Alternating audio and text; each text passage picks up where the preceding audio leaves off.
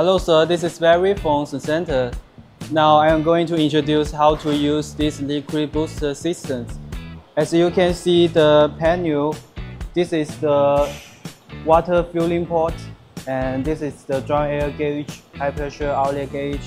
This is the dry air regulator, dry air switch, and high pressure outlet valve and the unloading valve.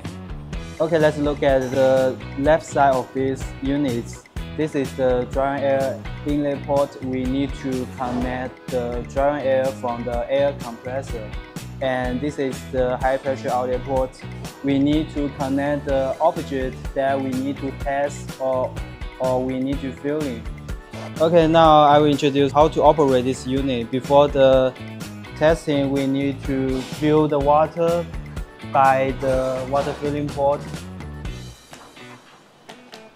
and then make sure the unloading valve is on the off.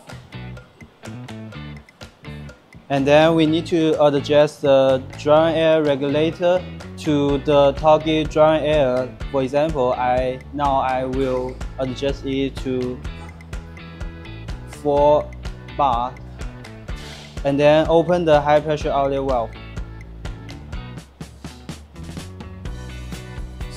and then we can open the dry air switch. As you can see, the pump is working to the target pressure and then it will stop automatically.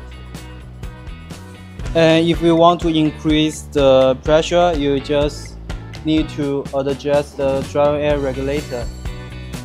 Then we need to mention the dry air pressure.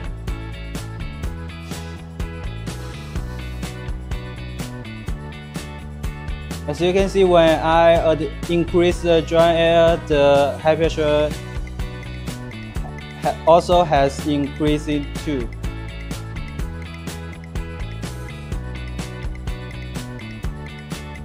Now when we finish boosting, we need to put off the switch.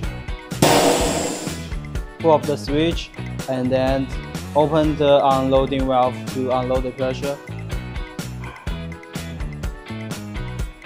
Then the test is finished.